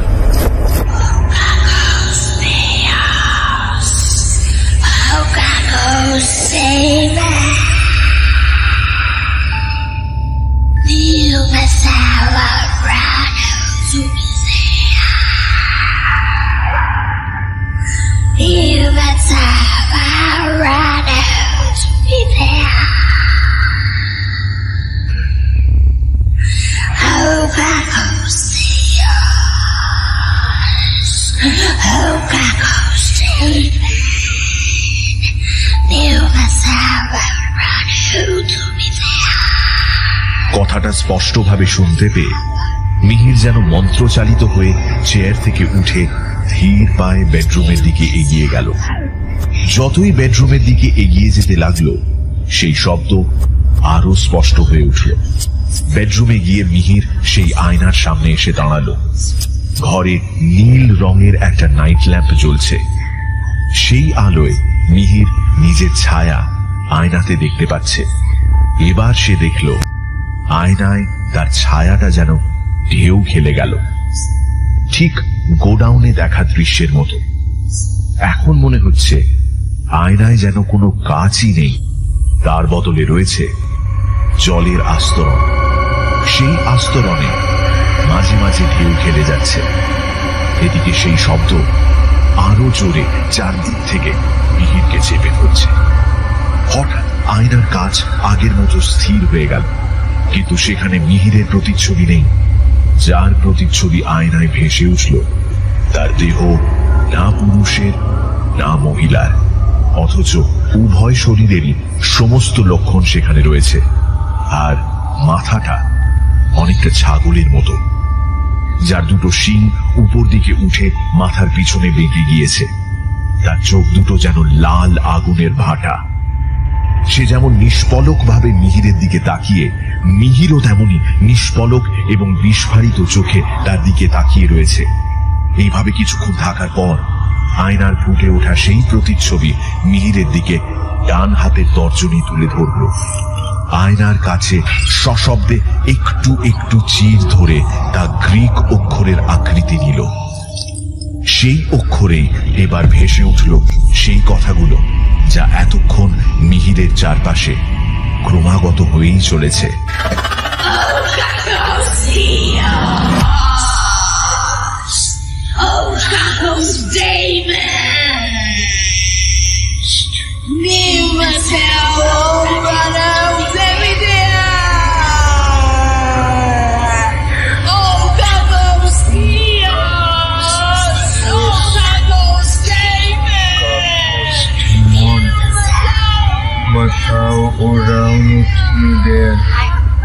মিহির একটা একটা করে সমস্ত শব্দ উচ্চারণ করল।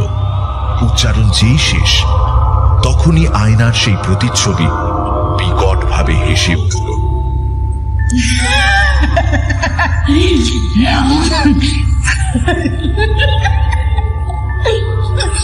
সেই হাসি যতটা ভয়ানক, ততটাই মর্মান্তিক। সেই হাসির শব্দে মিহিরের মনে হলো যেন সে আর কোনোদিনও এই পৃথিবীতে ফিরে আসতে পারবে না। সে দূরে চলে যাচ্ছে, এমন এক জায়গায়, যেখানে শুধুই যন্ত্রণা, কষ্ট। সে জায়গা পৃথিবীর কোনো জায়গা নয়। এই কথা ভাবতে ভাবতে মিহিরের চোখ ঝাপসা হয়ে আসছে। আর ঠিক সেই সময় রাস্তার সবকটা কুকুর যেন একসঙ্গে কেঁদে উঠল।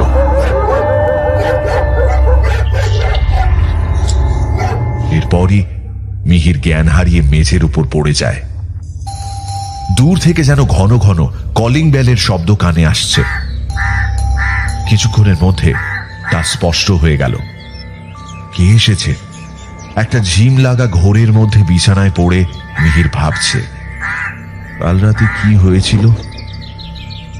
দুঃস্বপ্ন। মাথাটা এত ব্যথা করছে কেন? দরজায় কে এসেছে? চলে যাও।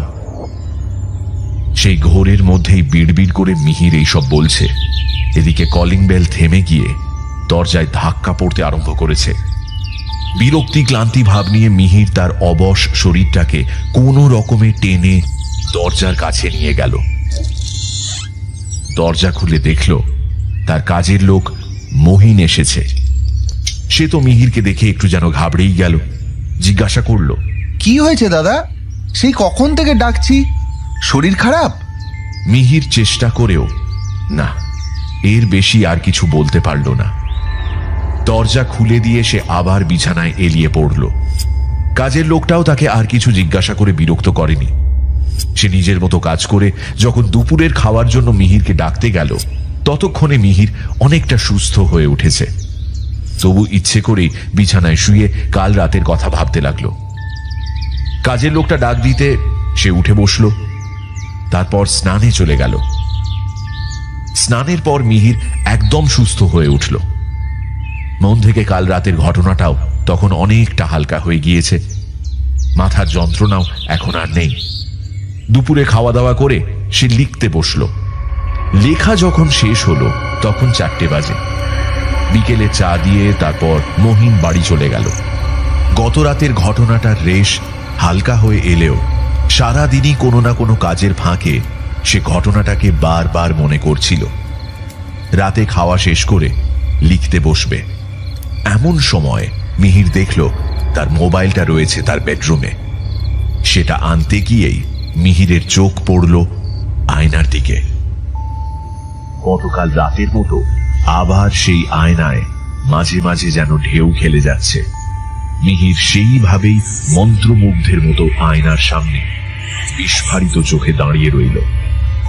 আয়নার মধ্যে এখন আর তার প্রতিচ্ছবি নেই, বরং সেই জায়গায় ফুটে উঠেছে আর একজনের প্রতিচ্ছবি। তো বিজন বাবু কিন্তু এ কি? ওই লোকটার পেছনে ও কে দাঁড়িয়ে? মিহির দেখল গতকাল রাতের সেই ভয়ঙ্কর মূর্তিটা বিজন বাবুর পেছনে দাঁড়িয়ে রয়েছে। বিজন বাবুর পরনে সাদা পাজামা আর গায়ে বাটিকের পটুয়া। কিন্তু তিনি এবার যা করলেন, তা দেখে মিহিরের দম বন্ধ হয়ে যাওয়ার উপক্রম হল। কখন যেন বিজন বাবুর পেছনে দাঁড়িয়ে থাকা সেই বিকট মূর্তি ফাঁস দেওয়া একটা দড়ি পিছন থেকে তার মুখের সামনে ধরল। আর তিনিও নির্বিকার ভাবে সেই দড়ি গলায় পরে নিলেন। এরপরই পিছনের সেই বিকট মূর্তি ফাঁসের দড়ি ওপরে উঁচু করে ধরল আর একটু একটু করে বিজন বাবুর পা মাটি থেকে বেশ খানিকটা উপরে উঠে গিয়ে শূন্যে ঝুলতে লাগল। চোখে মুখে তখন শ্বাসরোধ হওয়ার যন্ত্রণা। তিনি অনবরত হাত পা ছুঁড়ছেন এমন সময় বিকট মূর্তিটা দড়ি ধরে উপরের দিকে একটা জোরে টান দিল। আর ঠিক তখনই মনে হলো যেন ঝুলন্ত অবস্থায় থাকা বিজন বাবুর ঘাড় ভেঙে তার মাথাটা একটু উপরের দিকে উঠে এক পাশে কাত হয়ে গেল। তার গলার কাছে ধীরে ধীরে সেই দড়ির মাপে চাপ বাঁধা কালশিটে দাগ ফুটে উঠল। এরপর মিহির দেখল, সেই বিকট মূর্তিটা সেই অবস্থাতেই বিজনবাবুর মৃতদেহটা বাঁশের দড়ি ধরে টানতে টানতে নিয়ে যাচ্ছে। এই সমস্ত দৃশ্য মিহির কতক্ষণ ধরে দেখল জানা নেই, কিন্তু তার ঘোর কাটতেই সে দেখল যে সে কম্পিউটারের টেবিলে বসে আছে। সামনে রাখা টেবিল ঘড়িতে সময় তখন রাত বারোটা। অথচ তার বেশ মনে আছে, খাওয়া শেষ করে সে যখন লেখা টেবিলে এসে কম্পিউটারের সামনে বসেছিল, তখনই বাজে বারোটা। তাহলে কি ঘড়িটা নষ্ট হয়ে গেল? নাকি সে পাগল হয়ে যাচ্ছে? আবার ক্রমে কাল রাতের মতোই মানসিক ক্লান্তি, ভয়, আতঙ্ক মিহিরকে গ্রাস করছে। কিন্তু আজ সে নিজেকে সম্পূর্ণভাবে পরিস্থিতির হাতে তুলে দেবে না। সে যে করেই হোক এই রহস্যের একটা কিনারা করবেই। তার শরীর, মন এখন সম্পূর্ণভাবে বিধ্বস্ত, কিন্তু তা সত্ত্বেও সে বিছানায় গিয়ে গতকালের মতো শুয়ে পড়ল না। বরং কম্পিউটারের টেবিলেই বেশ খানিকক্ষণ সময় মাথায় হাত দিয়ে চুপ করে বসে থাকল। পাশেই ফ্লাস্কে কফি রয়েছে। একটু সুস্থ হলে সে চোখে মুখে জল দিয়ে এসে আবার কম্পিউটারের টেবিলে বসল এবং ফ্লাস্ক থেকে খানিকটা গরম কফি ঢেলে নিয়ে খেতে লাগল। পরপর দু কাপ কফি খেয়ে মিহিরের নার্ভগুলো যেন একটু চাঙ্গা হয়ে উঠেছে। এবার সে ব্যাপারটা এক মনে ভেবে দেখতে চায়। এমন সময় তার চোখ পড়ল কম্পিউটারের দিকে। আচ্ছা ইন্টারনেট থেকে কি এই সম্পর্কে কিছু জানা যেতে পারে? কি যেন কথাটা গতকাল রাতে শুনেছিল? ও কাসোস, না ও কাকোস। মনে পড়েছে, ও কাকোস ডেমন একদম ঠিক। মিহির আর দেরি না করে ও কাকোস ডেমন কথাটা লিখে ইন্টারনেটে সার্চ করল। বেশি পরিশ্রম করতে হলো না। দু একটা সাইট ঘাঁটতেই বেরিয়ে পড়ল একটা ভয়ানক তথ্য। যে কথাটা সে গতকাল রাতে শুনেছিল, এবং স্বপ্নেই হোক আর বাস্তবেই হোক, নিজেও সে উচ্চারণ করেছিল, তা হল, শয়তানকে জাগানোর একটা মন্ত্রের প্রথম অংশ। সম্পূর্ণ মন্ত্রটা হল ও কাকস থিয়স ও কাকস ডিমন। নিউমা টো ওরানো থুমাথে যার অর্থ ও wicked god O wicked demon spirit of the sky remember remember ইউরোপের নেক্রোম্যান্সার বা তান্ত্রিকরা শয়তান জাগানোর এই ক্রিয়া করত। তাহলে কি ইন্দ্র আয়নাটা সম্পর্কে যা শুনেছিল সবই সঠিক? মিহির আরও জানতে পারল এই মন্ত্রোচ্চারণ করার পর যদি শয়তান জেগে ওঠে, তাহলে সে তিনজন মানুষের বলি নেবে। সেই শয়তানের এক নাম বাফোমেট। এই তথ্যের সঙ্গে শয়তান বা বাফোমেটের যে ছবি দেওয়া রয়েছে, তার সঙ্গে আয়নায় দেখা সেই বিকট মূর্তির অনেক মিল। মিহিরের বুঝতে আর বেশি সময় লাগল না। সে এবার স্থির, নিশ্চিত।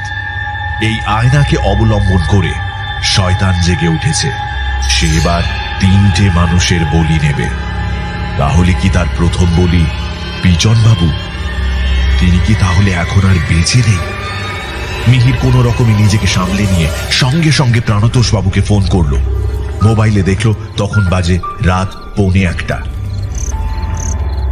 প্রাণতোষ বাবু যথারীতি ফোন তুললেন না। মিহির অনেকবার চেষ্টা করেও কিছু করতে পারল না। এখন তার কাছে সকালের জন্য অপেক্ষা করা ছাড়া আর কোনো উপায় নেই। সারা রাত মিহিরের ঘুম হয়নি। দুশ্চিন্তায়, ভয়ে, আতঙ্কে। এক রাতের মধ্যেই তার চেহারা যেন অর্ধেক হয়ে গিয়েছে। ভোরের দিকটায় কখন যেন সে ঘুমিয়ে পড়েছিল মনে নেই। সকালে ঘুম ভাঙল কাজের লোকের কলিং বেলে। আজ সকালে আর কিছুতেই মানসিক অস্থিরতার ভাবটা মিহির কাটিয়ে উঠতে পারল না। মোবাইলে সময় দেখল।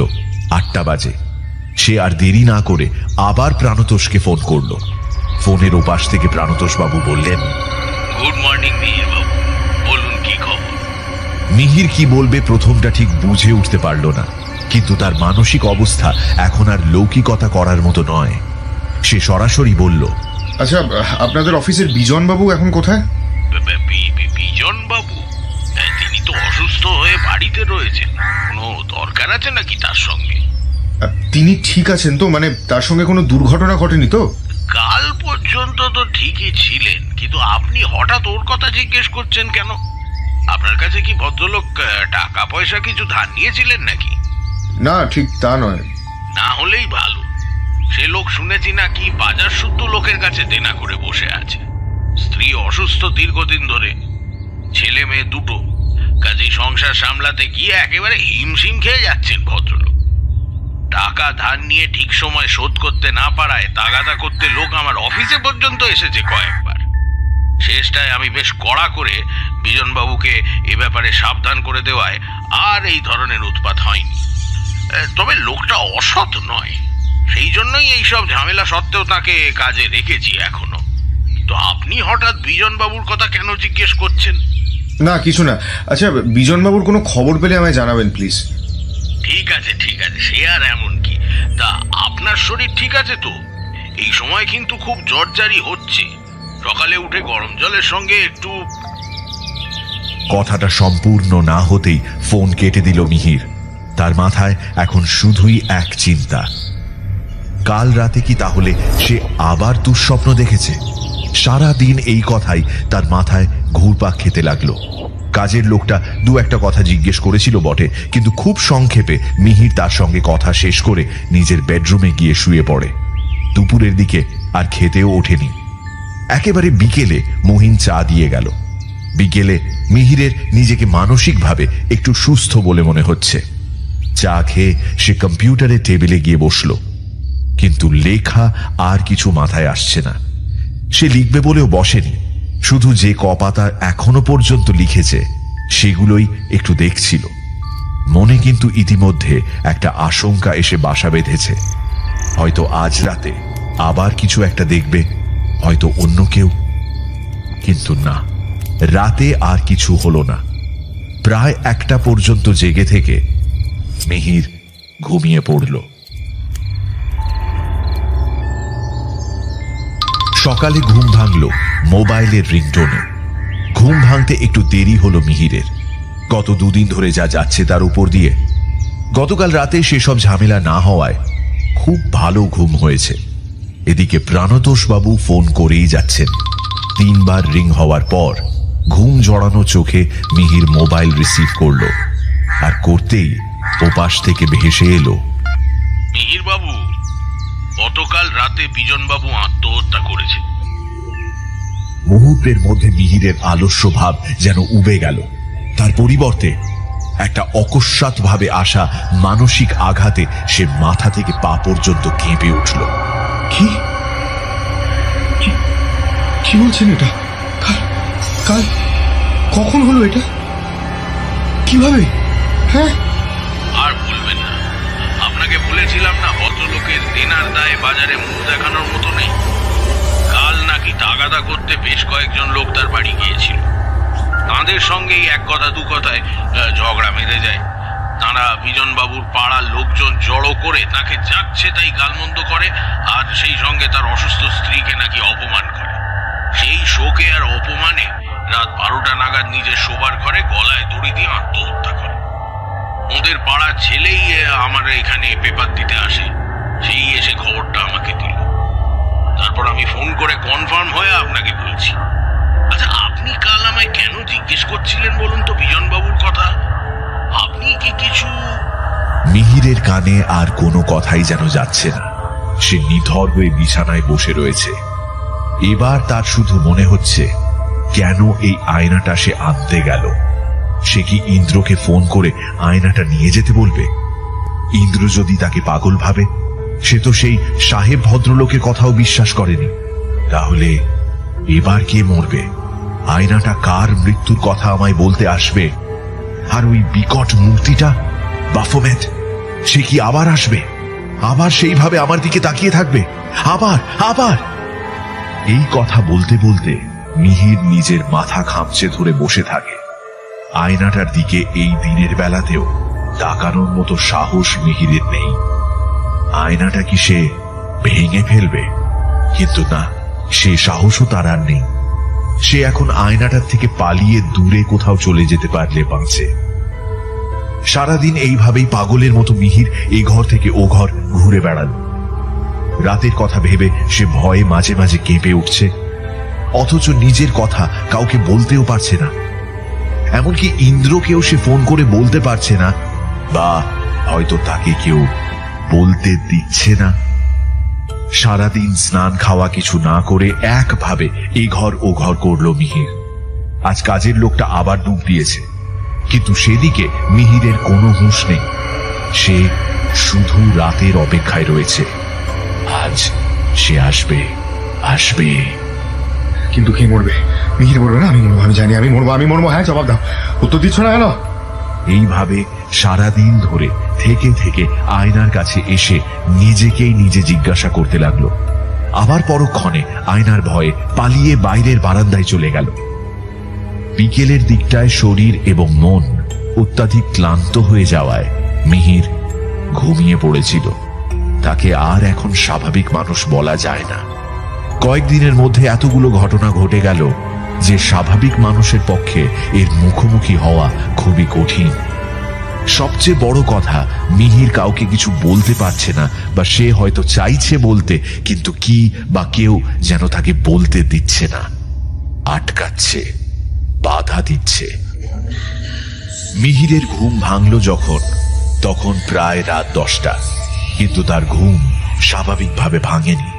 সে কানের কাছে আবার সেই মন্ত্রোচ্চারণ শুনতে পেয়েছে। এবার একটু অন্য রকম ঘটনা ঘটল। মন্ত্রোচ্চারণ শুনেই মিহির কিন্তু ঘাবড়ে গেল না। বরং কোনো তীব্র কৌতূহলে সে বিছানা থেকে উঠে সোজা দাঁড়াল আয়নার সামনে। আবার আয়না কেঁপে উঠছে। তার মধ্যে ঢেউ খেলে যাচ্ছে মাঝে মাঝে। মিহিরের চোখ বিস্ফারিত। ক্রমে আয়নায় ভেসে উঠল অন্য একজনের প্রতিচ্ছবি। তবে সে কোনো প্রাপ্তবয়স্ক লোক নয়। একটা বাচ্চা ছেলে। বয়স আন্দাজ দশ বছর। তার চোখ মুখ দেখে মনে হচ্ছে বেশ কিছুদিন ধরে সে অসুস্থ। মিহির বেডরুমের আলো জ্বালায়নি। জ্বালানোর কথা তার মনেও নেই। তবু আয়নায় ঘটনাটা স্পষ্ট দেখতে পাচ্ছে সে। এ তো এ তো মহিনের ছেলে। মহিন তার ছেলের ছবি মিহিরকে মোবাইলে দেখিয়েছিল। বাচ্চাটা একটু যেন মুখ বিকৃত করে চমকে উঠল। তারপরে হুমড়ি খেয়ে নিচে পড়ে গেল। এরই সঙ্গে তার অসহায় যন্ত্রণাময় চিৎকার। কিন্তু সেই চিৎকারকে ছাপিয়ে উঠল আর একটা বিকট হাসি। সে এসেছে। হয়তো হয়তো সে বাচ্চাটাকে খেলনা পুতুলের মতো এক হাতে তুলে নিল। কিন্তু বাচ্চাটার বুকে গেঁথে রয়েছে একটা বঁটি। তার মুখ দিয়ে অনবরত রক্ত বমি হচ্ছে। আর সেই অবস্থায় তাকে কাঁধে নিয়ে চলে যাচ্ছে বাফোমেট। এই ঘটনা দেখার পর মিহির অজ্ঞান হয়ে গেল। শরীরে বা মনে তার আর ক্ষমতা রইল না।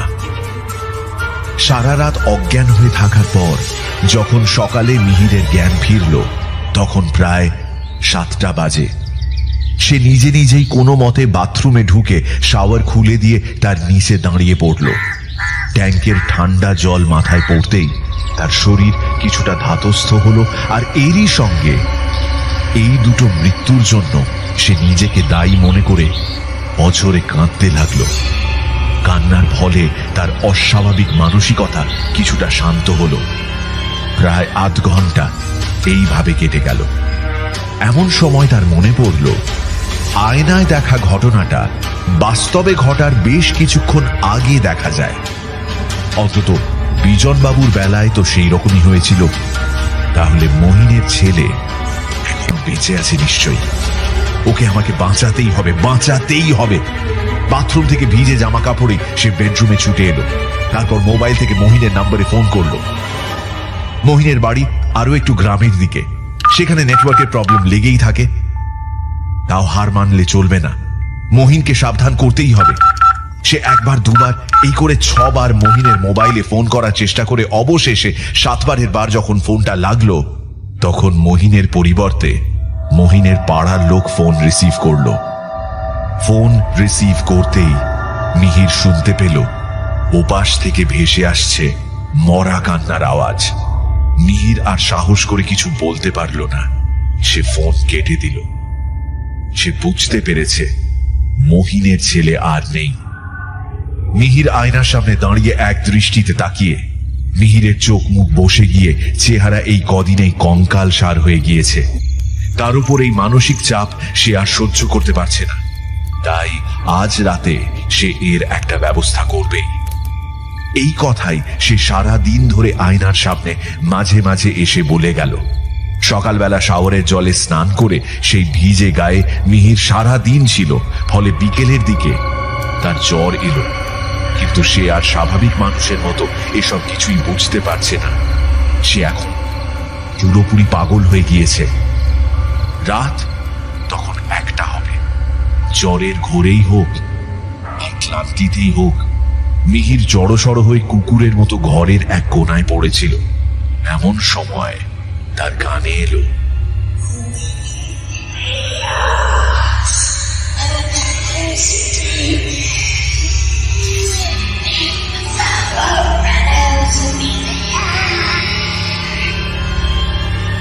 একবার কানে যেতেই মিহির ধরফর করে উঠে বসল। তার মুখে একটা পৈশাচিক হাসি।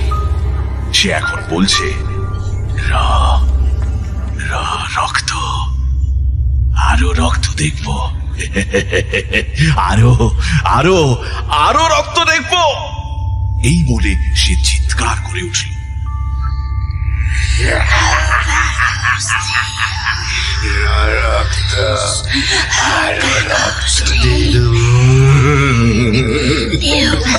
New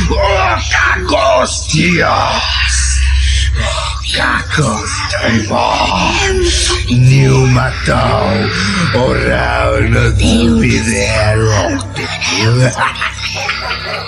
তার চিৎকারের সঙ্গে আবার একবার রাস্তার কুকুরগুলোর কান্না মিলে মিশে এক হয়ে যেন রাতের বুক চিরে দিল। এর কদিন পর মিহিরের ফ্ল্যাট থেকে দুর্গন্ধ আসায় পাড়ার লোকেরা দরজা ভেঙে মিহিরের ঘরে ঢুকে দেখল মিহিরের লাশ তার বেডরুমের মেঝের ওপর পড়ে রয়েছে। তারাই পুলিশে খবর দেয়। পুলিশ এসে দেখে লাশের সারা মুখে গেঁথে আছে কাচের টুকরো। বেডরুমের মেঝেতে চাপ চাপ রক্ত শুকিয়ে কালো হয়ে গিয়েছে। লাশের মাথার উপর একটা নকশা করা কাঠের আয়নার ফ্রেমে কয়েক টুকরো ভাঙা কাচের অংশ দেখে পুলিশ ব্যাপারটা খানিকটা আঁচ করল। এই আয়নার কাজই লাশের মুখে গেঁথে রয়েছে। কিন্তু ঘটনাটা আত্মহত্যা না হত্যা, তার কিনারা সেই মুহূর্তেই করা গেল না। অগত্যা লাশ পোস্টমর্টমে পাঠিয়ে দিয়ে পুলিশের লোক ভিকটিমের বাড়ির লোকজনকে খবর দেওয়ার জন্য এদিক সেদিক তল্লাশি চালায়। সবচেয়ে সহজ ছিল মিহিরের মোবাইল চেক করা, কিন্তু সেই মোবাইলও বন্ধ হয়ে পড়ে রয়েছে। ফলে মোবাইল সহ লাশের পাশে পড়ে থাকা আরও দু একটা জিনিস তদন্তের জন্য পুলিশ নিয়ে গেল। এর মধ্যে মিহিরের ডায়েরি থেকে প্রথমেই ইন্দ্রর নাম্বার পেয়ে পুলিশ তাকে সরাসরি থানায় যোগাযোগ করতে বলে। সেদিনের পর ইন্দ্র আর মিহিরের সঙ্গে যোগাযোগ করেনি। বেশ কিছু অকশন হাউসে ব্যবসার খাতিরে তাকে ঘোরাঘুরি করতে হয়, ফলে মিহিরকে আর ফোন করা হয়নি। কিন্তু পুলিশের কাছে সব শুনে ইন্দ্র একেবারে ভেঙে পড়ল। তাকে সান্ত্বনা দিয়ে পুলিশ জিজ্ঞাসা করল আপনার এই বন্ধুটির কি মাথার কোনো সমস্যা ছিল? না না একেবারেই না। অন্তত চার দিন আগে তো নয়। তদন্তে জানা গিয়েছে যে মৃত্যুর বেশ কিছুদিন আগে থেকেই আপনার বন্ধু খাওয়া দাওয়া ছেড়ে দিয়েছিলেন। পাড়ার লোকজনও বলল যে দিন তিনেক ধরে মিহির বাবুকে নাকি বাইরে বেরোতে কেউ দেখেনি। তিনি একরকম স্বেচ্ছায় গৃহবন্দী হয়েছিলেন। এর মধ্যে দুদিন মাত্র তার চাকর মহিন এসেছিল। আমরা তার বাড়িতেও গিয়েছিলাম। কিন্তু সেখানে গিয়ে শুনলাম আরেক দুর্ঘটনার কথা। মহিনের বছর দশেকের ছেলে ঘরের মাঝখানে খাড়া রাখা বঁটির ওপর পড়ে গিয়ে মারা গেছে। সে নাকি আশেপাশে কাউকে দেখতে না পেয়ে জ্বর গায়ে বিছানা ছেড়ে ঘর থেকে বারান্দায় আসছিল। তার মা সবজি কাটতে কাটতে কি আনতে যেন বঁটি খাড়া করে রেখেই বাইরের রান্নাঘরে গিয়েছিল। এই ফাঁকে বাচ্চাটা বারান্দায় আসতে গিয়ে জ্বরের ঘোরে পা পিছলে বঁটির ওপর পড়ে গিয়ে এই কাণ্ড ঘটায়।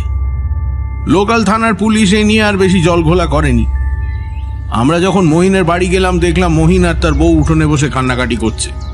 আমরা মহিনকে ডেকে আলাদাভাবে মিহিরবাবুর ঘটনাটা বলতেই সে তখন আমাদের বলে যে সে যেদিন গিয়েছিল সেদিন মিহিরের আচরণ কেমন যেন লেগেছিল তার। তাই আপনাকে জিজ্ঞেস করছি আপনার বন্ধুর মধ্যে মানসিক কোনো অস্বাভাবিকতা চোখে পড়েছিল? না। বেশ আপনাকে আর এ নিয়ে কিছু বলব না আপনি বরং আপনার বন্ধুর শেষকৃত্য করার ব্যবস্থা করুন। প্রয়োজন হলে আপনাকে আবার জানাব। বিকেলের দিকে মিহিরের মৃতদেহ মর্গ থেকে নিয়ে এসে ইন্দ্র আরও কয়েকজনকে সঙ্গে করে শ্মশানে নিয়ে গেল। খবর পেয়ে প্রাণতোষ বাবু এসেছিলেন। তিনিও ইন্দ্রর কাছে। মিহির যে বিজন বাবুর কথা জিজ্ঞাসা করে ফোন করেছিল, সে কথা বললেন। সব শুনে ইন্দ্রর যেন মাথার ভেতর সব এলোমেলো হয়ে যাচ্ছে। তাহলে কি মিহির পাগল হয়ে গিয়েছিল? শ্মশান থেকে ফেরার পথে গাড়ি করে সারাটা রাস্তা এই কথাই ভাবতে লাগল। আর মনে পড়ল, শেষবারের মতো চলে যাওয়ার আগে মিহির তার কাছে সেই আয়নাটা চেয়েছিল। এই কথা মনে পড়তেই ইন্দ্রর মনে পড়ল, আয়না, সেই আয়না। তবে কি তবে কি সব সত্যি? ওই আয়নাটাই তাহলে মিহিরের বলি নিয়েছে? এটা যদি সত্যি হয়, তাহলে তো এর আরও দুটো অংশ থাকার কথা। একটা গ্র্যান্ডফাদার ক্লক আর একটা বই।